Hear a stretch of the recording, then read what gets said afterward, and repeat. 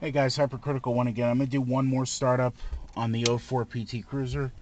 I just did the half, so this time we will do this, and I'm gonna do the inch, which is barely press and hold.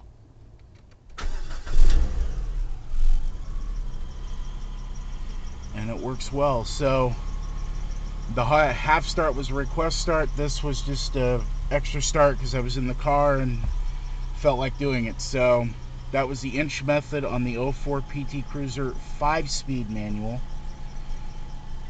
Y'all have a great day now. Thanks. Bye.